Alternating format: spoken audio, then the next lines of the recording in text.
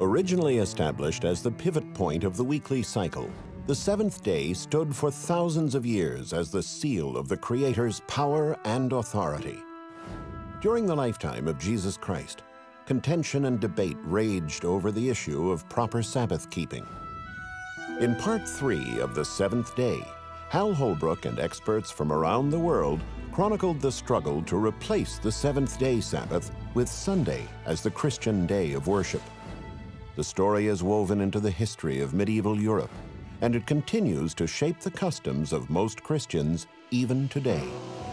And now, part four of The Seventh Day Revelations from the Lost Pages of History.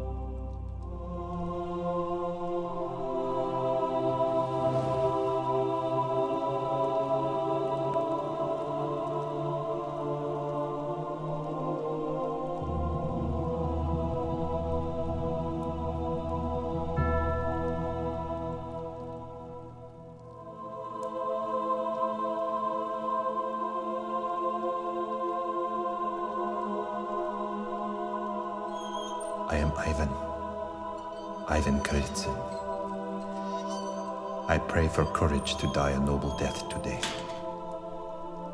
I will die for my faith, for the truth that I have loved. I will die because of those things that I have believed and taught according to the Holy Scriptures, both Old Testament and New. I will die today because I have observed the seventh day of the week as the holy Sabbath of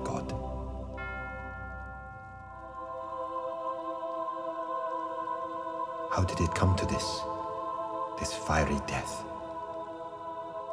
I had such hopes.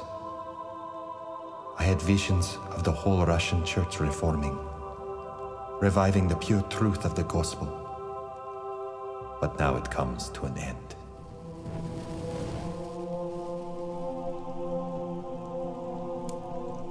Ivan III. He could not stay away. Once he was our friend. I wonder what is in his heart today. Look there. Elena and Dmitri, Sobotniks, Sabbath keepers like me, the Tsar's own daughter-in-law, his grandson. What will become of them? Will they burn too?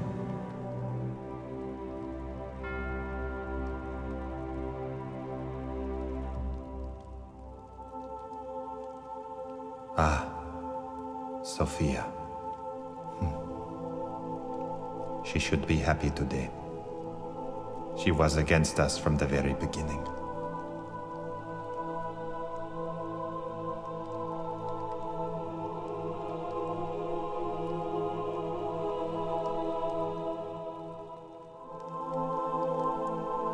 And Gennady, the Archbishop from Novgorod. He. He has lived for this day, for this fire. He claims that we have turned away from Christ and become like the Jews.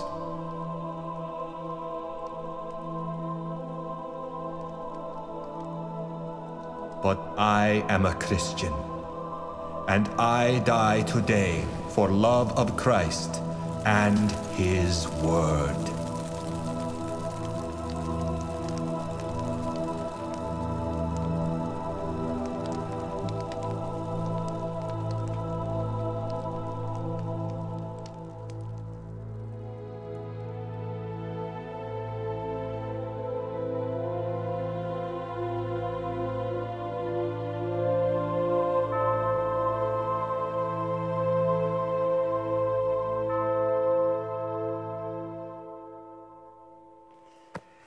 Those horrific fires in Moscow 500 years ago signaled the death of the 15th century Russian Reformation, a Reformation characterized by its emphasis on observing Saturday, the seventh day, as the Sabbath.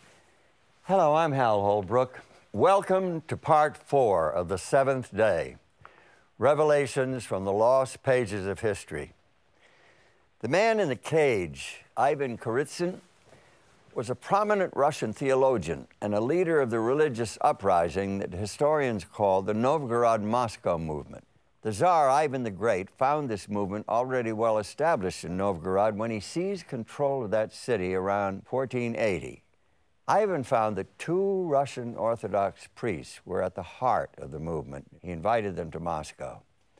Dr. Oleg Zhigankov explains. The reason Tsar Ivan uh, brought the two most prominent uh, priests, uh, Denis and Alexei, from Novgorod to Moscow was that he himself was somehow sympathetic to the reformers' views. And uh, Ivan installed them to be uh, the priests at the two most important uh, cathedrals in Moscow, in Russia, in Arkhangelsky Cathedral and at the Armenian cathedrals. Those two cathedrals are still uh, the most important cathedrals in Russia. But the Tsar wasn't the only one who was pro reform. The Novgorod Moscow movement reached into the highest levels of government and included people in the Tsar's inner circle. The whole story reads like a great Gothic novel. On the one hand, you've got Elena Stefanovna, widowed daughter in law of the Tsar. And she's a Subotnik, that is, she's a Sabbath keeper. On the other hand, there's the Tsar's wife, actually his second wife, Sophia, a Greek princess by birth. She grew up in Italy under the influence of the Roman Catholic leaders, who hoped that her marriage to the Tsar would pull the Russians closer to the Church of Rome. But Sophia eventually adopted the Russian Orthodox religion. So Tsar Ivan is caught between these two women, both of whom have great influence on him and his court. And the two of them are on opposite sides of the religious controversy. But the plot thickens. Elena's son, Dmitri, Ivan's grandson, is in line to become the next Tsar. And Dmitri, like his mother, supports the Sabbath keeping reformers. Now, Sophia, remember, she's the Tsar's second wife, bore him a son named Vasily, and she wants her son to become Tsar after Ivan, and she'll stop at nothing to get her way. Sophia has a powerful ally in Gennady, the Russian Orthodox Archbishop of Novgorod. Gennady is a zealous, even fanatical enemy of the Sabbath keeping reformers he calls for extreme measures. Listen to this. And in some of his letters uh, uh, addressed to the Russian Tsar, Gennady uh, venerates the methods of uh, Spanish Inquisition and um, insists that Russian Orthodox Church and the Russian state should um, apply these methods towards the Russian Subotniks movement. Russian Orthodox Church leaders met at the Council of Moscow and condemned the reformers as heretics. The sentence of the council details the charges. Some of you said blasphemy against many holy icons, and some of you cut the holy icons and burned them with fire. And you have all honored the Sabbath more than the resurrection day of Christ. Now, of course, the resurrection day is Sunday first day of the week. The council accused these reformers of honoring the seventh day, the Sabbath, more than the first day, Sunday. And that's what united their movement. The Council of Moscow was the beginning of the end for the Novgorod Moscow movement. It eventually died in the flames of Red Square. Elena Stefanovna and her son Dmitri fell out of favor. Their fate is unclear. Tsar Ivan III died, and Sophia's son Vasily took his place, just what his mother wanted.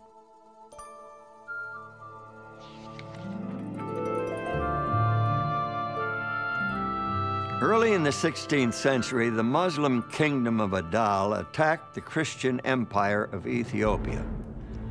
This was a jihad, a Muslim holy war, backed by the powerful Ottoman Turks. It took over vast areas of the country, overwhelming the Ethiopian forces. In desperation, the emperor appealed to Portugal for aid. Several long and difficult years passed, and finally, in 1541, Portuguese troops arrived on the coast of what is now Eritrea. Cristoban da Gama, son of the famous navigator Vasco da Gama, commanded a band of 400 musketeers. Their mission, rescue Christian Ethiopia. It was a costly effort. In their first major battle, the Portuguese took heavy casualties. Da Gama himself was captured and beheaded by the Muslim commander. Fortunately, with the help of the surviving Portuguese force, Emperor Golaudus beat back the invaders in 1543, ending the Muslim threat. But a few years later, a new challenge to Ethiopia's Christianity appeared when Jesuit missionaries followed in the footsteps of the Portuguese troops, facing privation, captivity, torture, and death. These Jesuits devoted themselves to bringing the Ethiopian church into the Roman Catholic fold.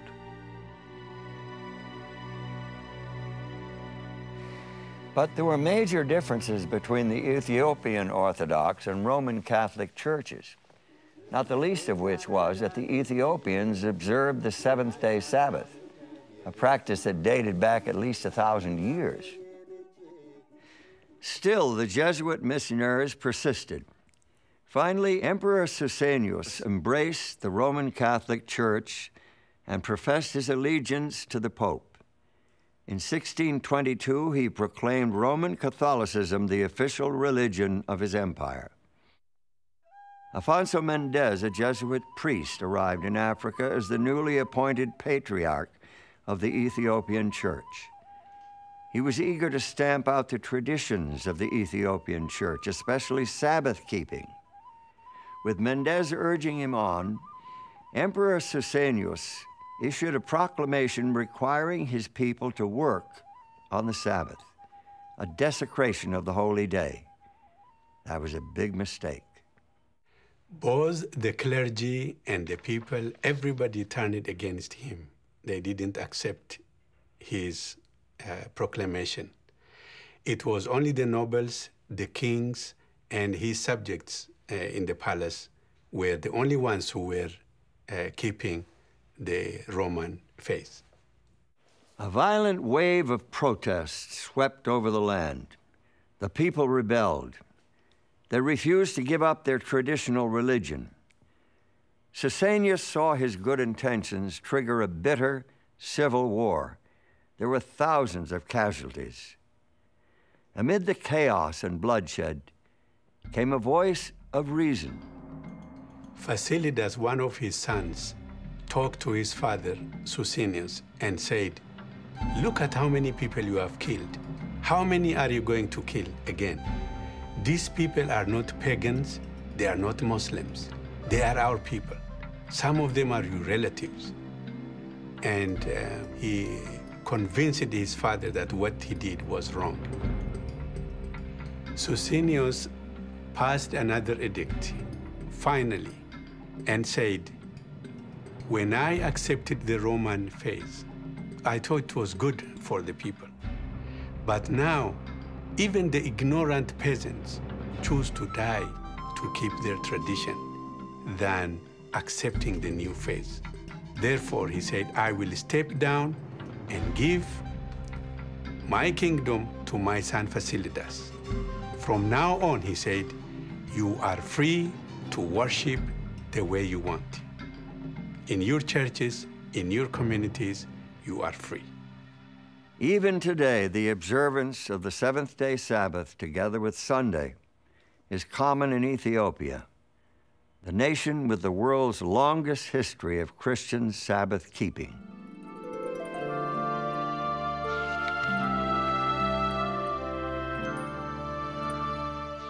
Imagine this.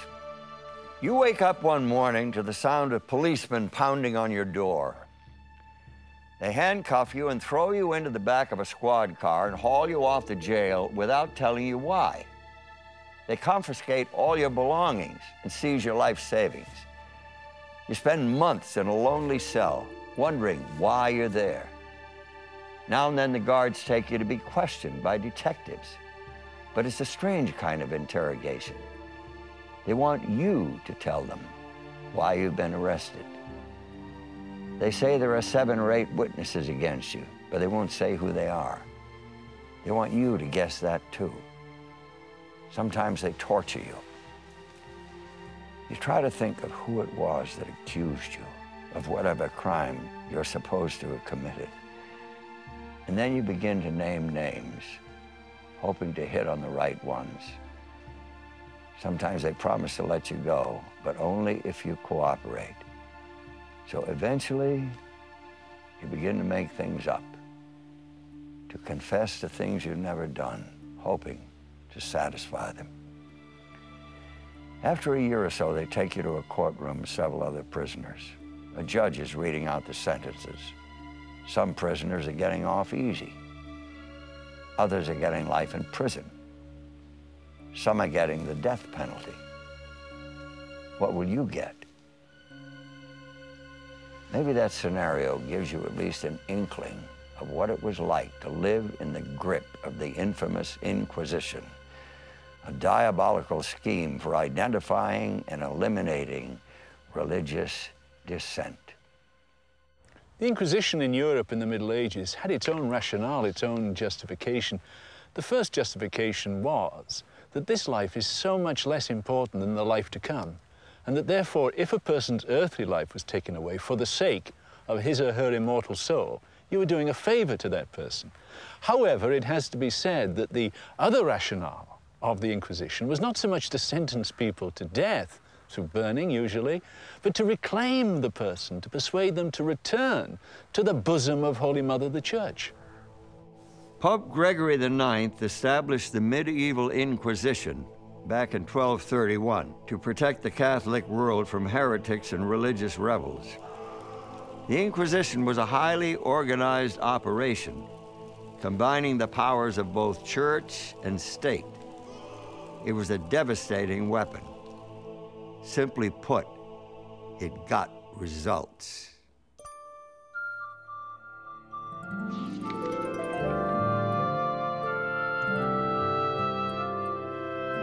In 1469, the marriage of Ferdinand and Isabella merged the kingdoms of Aragon and Castile into the United Kingdom of Spain. By the way, this is the same Ferdinand and Isabella who sent Christopher Columbus on his voyage of discovery in 1492. The new king and queen were militantly Catholic. In fact, they are called the Catholic monarchs but they had to face the fact that their Spain was not as Catholic as they wanted it to be.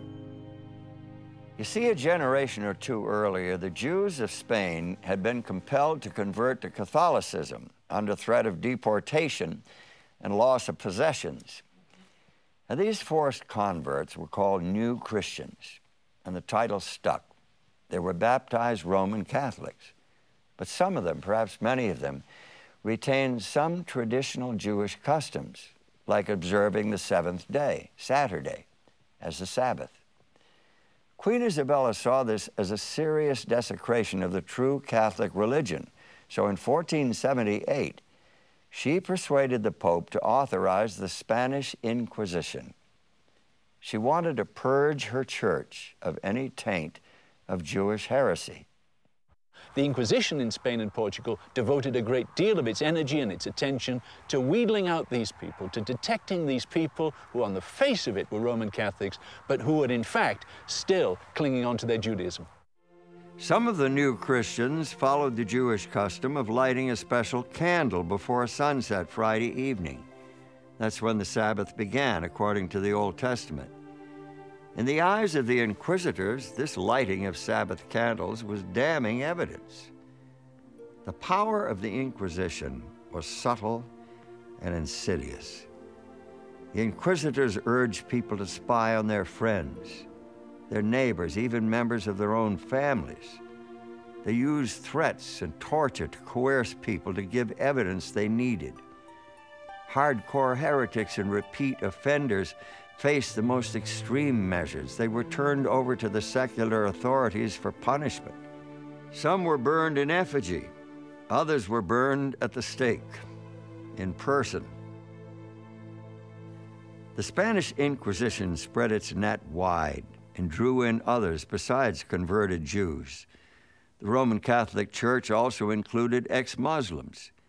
The inquisitors suspected them of secretly practicing Islam. And of course, Spain had to be protected from a storm of religious controversy that was brewing in the rest of Europe. That, too, was the business of the Inquisition. I am Constantino. Oh God, can you hear me? Are there no cruel pagans? No bloodthirsty cannibals worse than ravaging beasts to whom you could deliver me? That I might escape these inhuman barbarians who keep me in this pit. Why am I here? Because of truth? Because of the Sabbath? I have loved your word. I have taught it faithfully. Am I to die here? In this hall? Dr. Constantino Ponce de la Fuente was an immensely popular preacher and a gifted writer. He had traveled throughout much of Europe as chaplain to the imperial court. His peers held him in such high regard that he was elected magisterial canon of the great Cathedral of Seville, a huge Gothic structure that to this day ranks as the largest cathedral in the world. When Constantino preached, great crowds would pack the place to hear his sermons. But Dr. Constantino was a reformer a particularly dangerous role to play in Seville, the very heart of the Spanish Inquisition. It was here that Constantino and a few of his colleagues adopted some rather un-Catholic views. While holding the highest office in the great cathedral, he, along with his friends, formed what he called the secret Christian church. Constantino believed that Christians should obey the Ten Commandments and that obedience is made possible through the gracious work of God in the Christian's life. In his opinion, obeying the Ten Commandments includes keeping the Sabbath on Saturday, the seventh day. Understanding human nature and how easy it is for a man to forget him, God appointed a stated day to be offered to himself as a tithe, on which, unencumbered by other cares, man should offer inwardly and outwardly, acknowledgement to the Lord who created him. Members of the newly formed Society of Jesus, the Jesuits, became suspicious of Constantino after hearing his sermons. The Office of the Inquisition repeatedly called him in to explain his teachings. His friends were concerned. He told them, They want me to be burned, but they found that I am still too green. Officers of the Inquisition finally arrested him in August of 1558 and took him to the Inquisitor's prison just outside Seville. Cut off from his friends and supporters and from the crowds that used to fill the cathedral, Constantino Ponce de la Fuente suffered his last days in a pitiless death trap. There was no crowd to hear his final words when he died in February 1560, another victim of the Spanish Inquisition.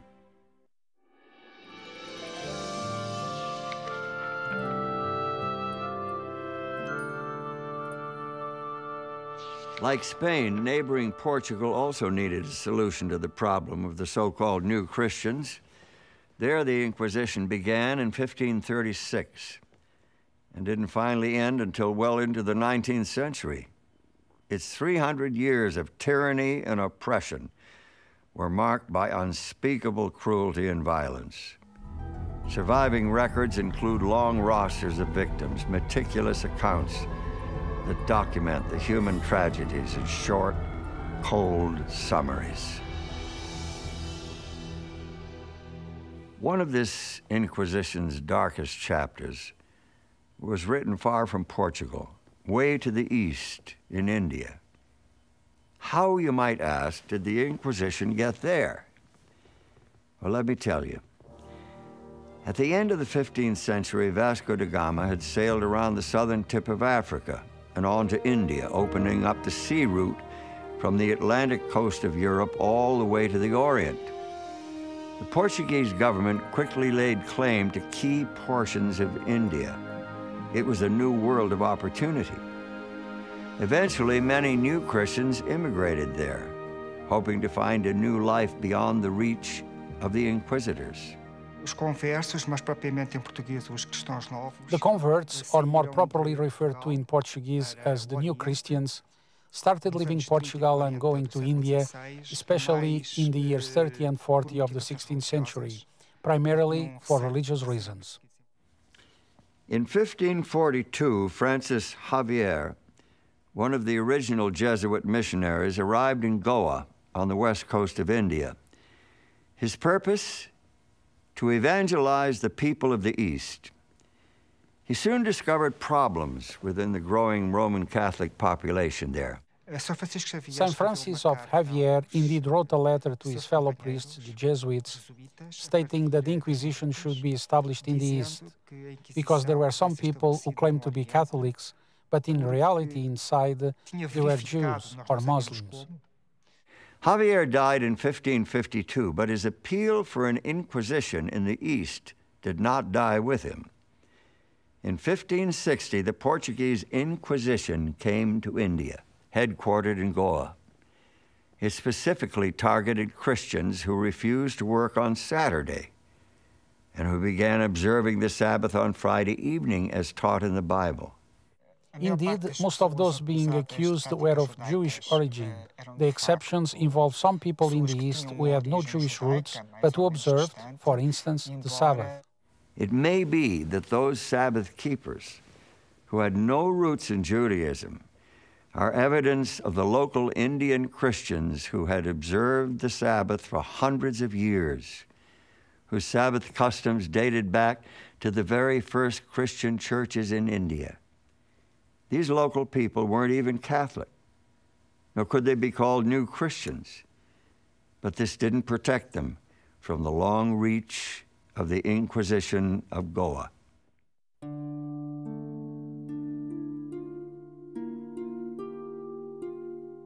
I am Charles Dellon, a physician and a citizen of France. Why am I here?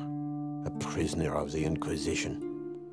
I am falsely accused, detained for no good reason. The accusations against me are the creations of my enemies. I am no heretic. Yet I have despaired of ever leaving this place. My only escape is death. So help me, I've tried to kill myself more than once. They want me to confess. But confess what? I have confessed again and again, but they want more. At least I'm not one of the new Christians. That's who they are really after. And I... I am not fortunate in any way for I am caught here just as they are, and my end as uncertain as theirs. We know about Charles Dellon's case because he later wrote about it in detail. Accused of only trivial offenses, he was held for two long years before his trial. His judges banished him forever from India and sentenced him to five years as a slave laborer in the shipyards of Lisbon. He was more fortunate than most. Friends from France intervened on his behalf, and he won an early release from the Inquisitor General. In 1677, he returned safely to France, where he began to write about his nightmare as a victim of the Inquisition. In his account, he claims that a majority of those burned at the stake for Judaizing were not Jews at all, but Christians who kept the Sabbath. Of a hundred persons condemned to be burnt as Jews, there were scarcely four who professed that faith at their death, the rest exclaiming and protesting to their last gasp that they are Christians and have been so during their whole lives.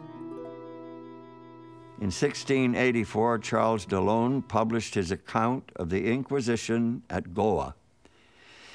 The book reveals the operation of the Portuguese Inquisition from the viewpoint of a victim. You can check it out for yourself. It isn't a pretty picture.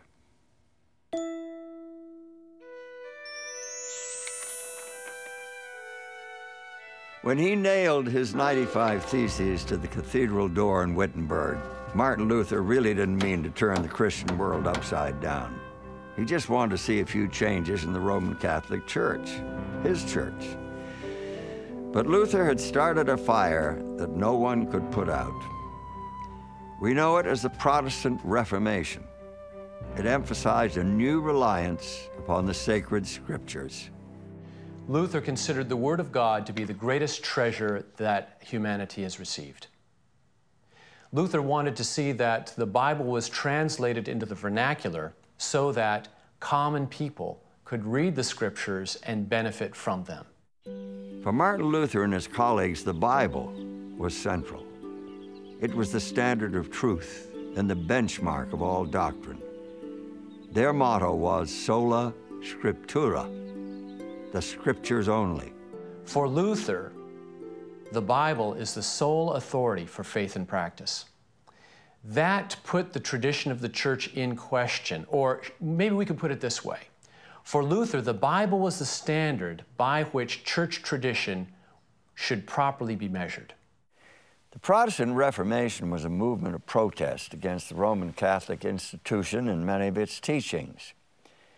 It resulted in the proliferation of churches and denominations that we see today. Things might have turned out differently if the Roman Catholic Church had convened a general church council to consider the issues raised by the reformers, but early calls for a council seemed to fall on deaf ears. Dr. John O'Malley, a Jesuit historian, tells us why. Clement VII was pope from uh, 1523 until 1534. And he was afraid of a council, actually, because he was afraid the council might try to depose him. Uh, maybe an irrational fear on his part, but nonetheless, it was something that was very much in his own mind and in his own fears. The Pope wasn't the only one who didn't want a council. The King of France opposed it for strictly political reasons. And eventually, the King of England took his own stand against it. The pressure for a council mounted until finally, in 1545, Catholic leaders traveled to the city of Trent at the foot of the Alps in northern Italy. Over a period of 18 years, the Council of Trent grappled with some of the most critical issues the Roman Catholic Church had ever faced. The first real substantial issue that the Council dealt with was what we might call the issue of authority, that is to say, the role of Scripture and then the role of church traditions. Gaspar de Fosso, Archbishop of Reggio Calabria, affirmed the standard church position when he denounced the Protestants for rejecting Roman Catholic supremacy. The heretics of this age are trying to overthrow the authority of the church. They claim to make the sacred scriptures the foundation of their faith. But it is the church, after all, that has authority over the scriptures. It is the church that points us to the scriptures and declares them to be divine and explains them faithfully when they are difficult to understand. The Council of Trent resolved that the authority of the church rested on twin pillars, not on Scripture alone, but on Scripture and something that the Council called tradition, the ongoing authority that descended, the faith that came from the apostles, that acted as a, a, a twin pillar alongside Scripture to sustain the teaching authority of the Catholic Church. The Decree of Trent on uh, this issue of authority begins by saying that the faith of the church and practice of the church is based upon the teaching and preaching of Christ and the apostles, as this has come down to us in two ways in the written tradition, that is, say, in the written scriptures, and then in the unwritten traditions that go back to the time of the apostles. The Catholic understanding was that, that Christ himself established the structure of the church, focused on the bishops, so that uh, when bishops uh, faced a dispute over the interpretation of Scripture, they couldn't just make up their minds as they pleased, but they had to take into account the decisions of preceding centuries of bishops and councils deciding questions. That was the tradition. So the tradition then becomes a lens through which uh, the bishops decide uh, an interpretation of Scripture. Here was a fundamental position that still separates the Church of Rome from most of the Protestant world by confirming the authority of unwritten tradition, the bishops at the council validated many non biblical teachings and customs. In this decree, the council does not list any of them, but we know from the discussions that issues that uh, were uh, on, their, on the minds of the bishops were, for instance, uh, infant baptism. Where do you find that in the Bible? And yet that's a, an established Christian practice the teaching of the creed that Christ descended into hell. Not so clear where we can find that in the New Testament. What about uh, Sunday observance? Uh, that doesn't seem to be in the New Testament. What about the Apostles' Creed itself? Um, now, we now know that that did not uh, come from the time of the apostles, but the people of Trent believed that, that, that it did. So that's another example of a tradition that uh, bothered the people at the council, felt that they could not uh, sort of subscribe to a scripture alone position in a strict sense. So, how could there be a change in the day of worship from Saturday to Sunday? To the Roman Catholic bishops at the Council of Trent, the answer was clear. The Sabbath, the most glorious day in the law, has been changed into the Lord's day. This has not been done by the command of Christ, but by the authority of the church.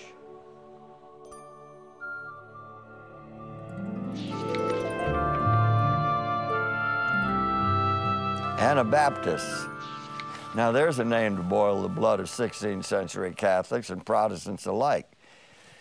They got their name because they didn't believe in baptizing babies and baptizing babies was standard practice for Christians at that time. Anabaptists believed that baptism was only for adults who understood and accepted the gospel message. From the very beginning of the Anabaptist movement in uh, 1525, uh, authorities, both Catholic and Protestant, regarded the movement as a threat to the um, civil order of the state. These Anabaptists denied that church and state had any authority over a man's conscience. And they taught that the common man could understand the Bible for himself, with no need for the church to interpret it for him. And the only true church is the one described in the New Testament, the church of Jesus and the apostles. This was very different from the Roman Catholic view, and much more radical than the view of most Protestants. The Anabaptists understood their renewal movement to be an attempt to um, restore the true church on the foundations of Christ's teachings in the gospel and also on the model of the early church as it's described in the book of Acts. Some historians see Andreas Bodenstein von Karlstadt as the forerunner of the Anabaptist movement. Early on, he was a friend and colleague of Martin Luther, but their friendship broke up over theological differences. Uh, they both believed uh, that you needed to use the scripture. Luther co could add to scripture anything that does not contradict Scripture can be added. For Karlstadt, it was the Scripture you did not add to it. So Luther would accept anything that the Bible did not specifically reject or prohibit. Karlstadt, on the other hand, would accept only what the Bible specifically taught and nothing more. Karlstadt's study of the Scripture led him to the Bible's Sabbath and its spiritual meaning. Here's what he says Sabbath keeping has a double object. In obedience to God, we must rest in peace and pray to God for all holiness and wait to receive it. This rest is realized in man's recognition that holiness comes from no other source than Christ, and that we must be holy as God is holy. When he speaks about the Sabbath, he means uh, a kind of inner Sabbath, in contradiction to the, uh, or in opposition to the outer Sabbath, or outward Sabbath. He is more interested in the inner Sabbath. That means uh, the rest of God within me. One could call it a kind of uh, inner sanctification. This is his greatest concern. And the outer Sabbath should be uh, a help to achieve this inner Sabbath. Unlike Karlstadt, Luther and other reformers generally agreed that the Sabbath of the Bible was irrelevant to Christians. Instead, they promoted Sunday, not as a Sabbath, but as a celebration of the resurrection of Christ. But Karlstadt believed that Sunday observance was merely a human invention. And he wasn't alone in that view. Two Anabaptist preachers, Oswald Glait and Andreas Fischer, took a similar position. Now, when they read their Bible from beginning to end, they simply saw no precedent, no authority for this change that happened from a Saturday Sabbath worship to a Sunday worship, day of worship. It was in Silesia, that's southwestern Poland, that Glait and Fischer began preaching and teaching about the seventh day Sabbath. This was a strong Anabaptist area, and the two men had great success in establishing groups of Sabbath keepers there. What made them so convincing was clear, logical arguments like these. The Ten Commandments are the basis of the moral law. Therefore, the Sabbath, the fourth commandment, is part of the moral law, which Christians are to obey. There are not eight or nine, but rather ten commandments. We cannot say that some are to be followed while others can be forgotten. Jesus himself kept the Sabbath. The apostles and the earliest church fathers taught the observance of the seventh day Sabbath. It was Pope Victor and Constantine, the emperor, who established Sunday worship in the church. On the other hand, God himself established Sabbath worship. We should keep the Sabbath out of love for God. Neither Glait nor Fischer would die a natural death. Glait was ultimately arrested, taken to Vienna, imprisoned, tortured, and finally drowned in the Danube, a typical fate for an Anabaptist. Fischer's story is a little different. In 1529, Andreas Fischer and his wife show up in Slovakia preaching among the miners there. And for this, they were arrested and they were taken to the Chichva castle. The arrest took place in May. They were held in the dungeon until August, at which time there was a trial of some sort. Uh, both were condemned to death, the wife by drowning and Andreas Fischer by hanging and the wife was indeed taken out and drowned. The execution of Andreas Fischer was another matter altogether. Oh, they hung him all right, from the castle tower. It seems he dangled at the end of that rope for hours, but he didn't die. Maybe the rope broke. Maybe some friends cut him down. The record is unclear as to just how it happened. What is clear is that Andreas Fischer survived. After Fischer's mysterious, or we, we might even say miraculous, escape from, uh, from execution, he labored on for another 10 years as an itinerant minister. He shows up in Moravia, he shows up in Bohemia, he shows up in Slovakia. He seemed to have a sort of a circuit that he traveled for the next 10 years. In 1540, Andreas Fischer was captured and dragged off to the castle at Krasna Horka in what is now southern Slovakia. This time, there was no trial, no escape, and no survivor.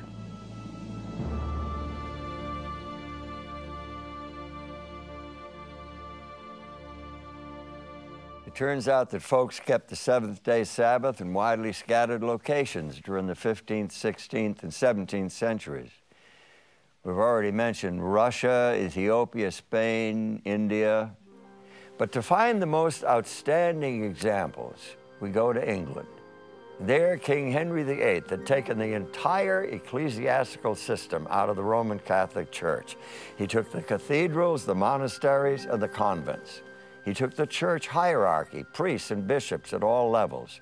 He took them all and created his own version of a national Protestant church, the Church of England.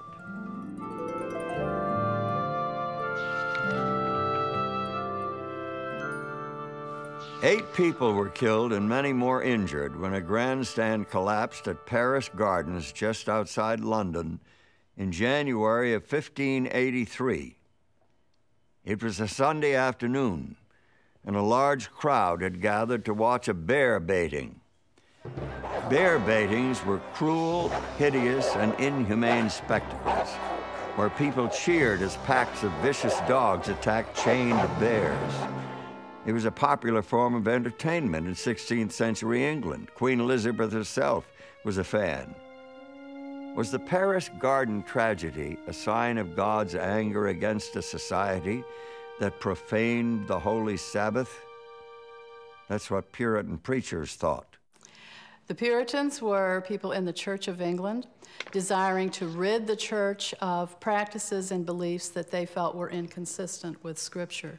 The Bible is now available to more and more people in English, and so it's easier for them to realize that there are discrepancies that, well, why are we doing this when the Bible says we should be doing this? They became called Puritans because they wished to purify the church. The Church of England, the Anglican Church, was very much like the Roman Catholic Church. There was some Reformation theology, but much Roman Catholic form and substance survived. For the Puritans, there hadn't yet been enough Reformation in England, so the Puritans thundered against the Sabbath breakers, those gamblers and theater goers. This must have been an uphill battle with William Shakespeare and his great plays coming on the scene. The English church and the monarchy opposed the Puritan view of strict Sabbath observance. In 1618, King James I, that's the James of the King James Bible, published the Book of Sports and ordered preachers to read it from their pulpits. Many Puritan pastors refused. They were incensed because the King's Book encouraged secular sports on the Lord's Day. But here's an interesting point.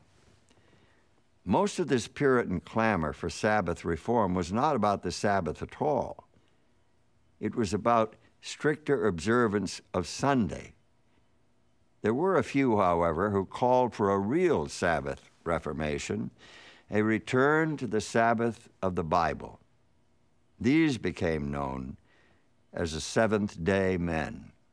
The Sabbatarian movement in England was largely a spontaneous result of the study of Scripture and the growing conviction of the obligations of observing the fourth commandment, which enjoined the observance of the seventh day of the week as opposed to the first day of the week. One of the first heroes among the Seventh day men was a woman, Dorothy Trask. Her husband, John Trask, was a zealous Puritan who was arrested in 1617 for urging people to keep the seventh day holy. He recanted his Sabbath views in order to avoid life imprisonment. But Dorothy was made of sterner stuff. She went to prison for her Sabbath beliefs and remained there until the day she died. In 1628, An Anglican clergyman named Theophilus Brabourne produced the first English language book calling for the observance of the seventh day Sabbath. His discourse upon the Sabbath day laid the theological foundations for a movement that, in one form or another, has continued into the 21st century. The matter is clear. It takes only our own records of days and weeks to make an end of the argument. It is the seventh day, the Sabbath of creation, that we need to keep holy. When you can show me from the scripture that there is any other seventh day than the day we call Saturday, the last day of the week, then I might be persuaded that the fourth commandment means some other seventh day besides Saturday. The basis of Brabourne's Sabbath arguments was the supreme authority of the Bible. He insisted that Saturday is the seventh day. The seventh day of the week is established by God at creation, and the seventh day of the Ten Commandments. I care not whether you keep Saturday Sabbath, Sunday Sabbath, or Monday Sabbath. But if we have respect to God or to His Scriptures, let us give him a day of his own choice and not another. He makes a lot of sense. In 1660, Brabourne published a pamphlet claiming that the Saturday Sunday issue was the greatest controversy in the Church of England at that time. His great hope was that the entire Church of England would convert from Sunday keeping to the observance of the seventh day Sabbath. Brabourne's main emphasis in terms of the Sabbath was the biblical record, from creation through the Ten Commandments, through the teachings and practice of Jesus, through the apostles in the first century church. There was no change in the day. And so he contended the church should be worshiping on the seventh day Sabbath. Brabourne's theology of the Sabbath was essentially Christ centered in addition to regarding the Sabbath as a memorial of creation, which he did, he also regarded it as a sign of redemption in Christ. The official church position was that the fourth commandment belonged to the ceremonial law that ended with the death of Christ on the cross. Brabourne called that kind of reasoning a monstrous hodgepodge.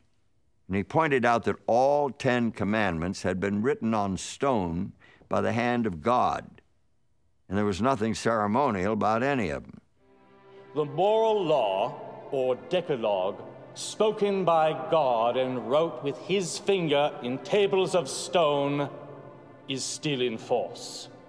Brabourne's opponents argued that Christ himself had changed the Sabbath to the first day of the week. He replied that such a claim was a notorious slander raised against Christ. He supported his view by pointing out something that should have been obvious even to his adversaries. The scriptures contain no record of Christ saying even one word about altering the Sabbath. Brabourne claimed that Sunday observance was an error to be charged to the Church of Rome, rooted in tradition, not scripture. Other Seventh day men would agree with him. They were not shy about blaming Rome for the Saturday to Sunday change. They called for the English Parliament to correct the error. We do hereby, in God's stead, exhort you to bring back the Lord's holy Sabbath to its proper day. That kind of talk was dangerous.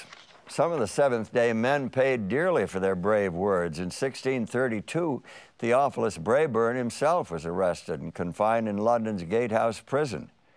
The court fined him 1,000 pounds. That's something like 150,000 US dollars in today's money. They stripped him of his ministerial license and ordered his excommunication from the Church of England.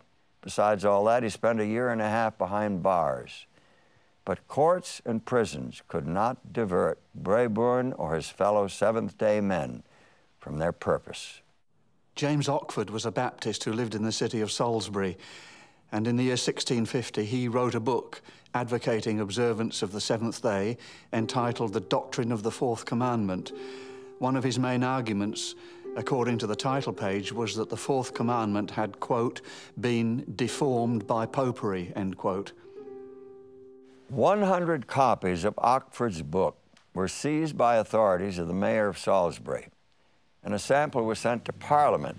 Within a matter of days, the House of Commons condemned the book on the grounds that it was erroneous, scandalous, and profane, and ordered that all copies in England and Wales be publicly burned. Ockford himself was excommunicated and sentenced to prison. As for his book, only one copy survives to this day in the library of Christ Church in Oxford, England. Another Sabbath reformer, Francis Bamfield, was a descendant of Sir Francis Drake and brother of a distinguished member of Parliament. Although he was one of the greatest English preachers of his day, his nonconformist views landed him in prison in 1663. It was there in the Dorchester jail that he discovered the Bible Sabbath and started observing the seventh day. Several other inmates joined him. After his release, Bamfield became a leading proponent of the Sabbath. He went to London and tried to organize a union of Sabbath keeping congregations there. Ten years later, in 1683, he was arrested while preaching to his congregation in London. He died in his prison cell a year later. Despite hardship and persecution, the Seventh day Movement flourished in 17th century England.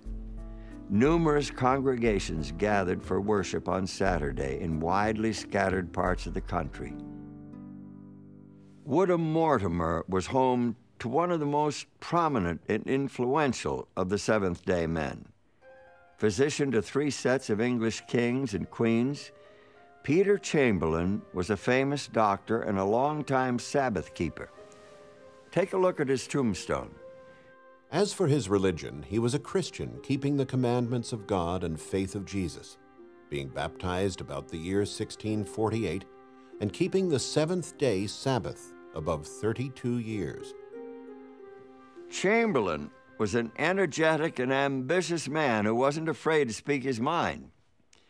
In 1682, he wrote an open letter to the Lord High Chancellor, calling the Pope the triple crowned little horn changer of times and laws, a reference to a startling prophecy from the Old Testament book of Daniel.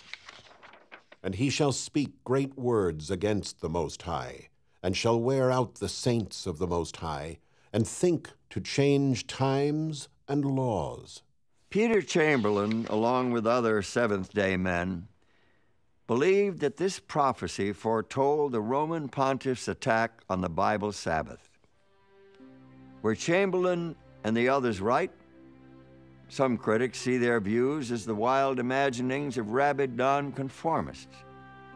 But however radical their point of view, the Seventh day men of 17th and 18th century England started something that is still going on. The Seventh day Baptists, their immediate spiritual descendants, carried their Sabbath doctrine across the centuries and across the Atlantic to the New World. We'll tell their story when we return with part five, the final chapter of the seventh day.